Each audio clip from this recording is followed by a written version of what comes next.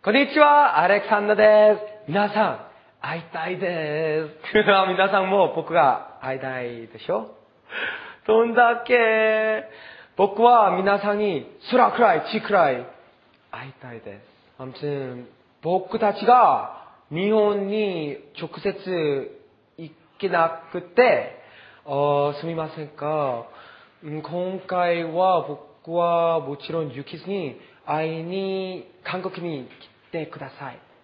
皆さん愛してる。じゃあ、じゃあね。